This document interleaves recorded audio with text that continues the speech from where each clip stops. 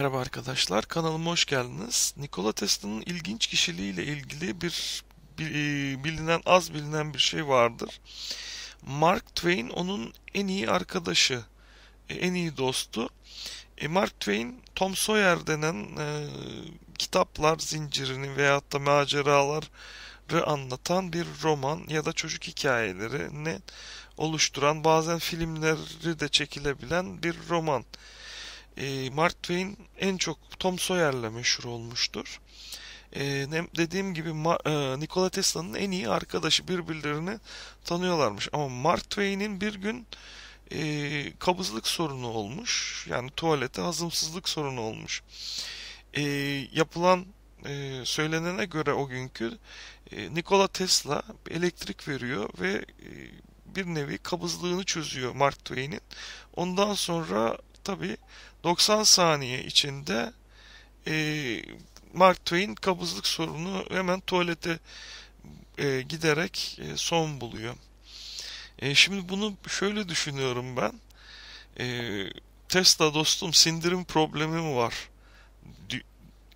4-5 gündür tuvalete gidemiyorum. Büyük çişin mi? Evet. Mark efendim. Benim şu osilatör var ya laboratuvardaki her derde deva yıldırım çıkarabilir, deprem yapar diye palavra attım. Ee, daha henüz Amerikalılar 51. bölgeyi kurmadı. Ee, ama ileride kurarlar diye tahmin ediyorum. Şimdi bunu da bir tatlıya bağlayalım. Nasıl olacak? Kıçına elektrot bağlayacağım. Oha! Nasıl olur ya? benim popom kıymetli, naziktir.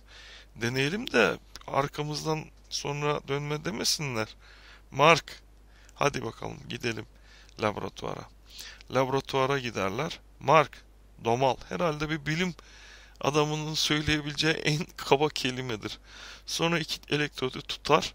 Coz coz yanık kokuyor ve e, alternatif akıma da bağladım galiba. Evet verdim akımın cozlu duman çıkmaya başladı. Yeter kıçım yeter. Korku, korkudan geldi zaten 90 saniye dayanamam. Hemen bırak beni koşarak tuvalete gitti herhalde. Ondan sonra oh be rahatladım. Dostum gazeteye şunu yazalım. Alternatif akım kabızlığa iyi geliyor. Beni dinlediğiniz için teşekkür ederim.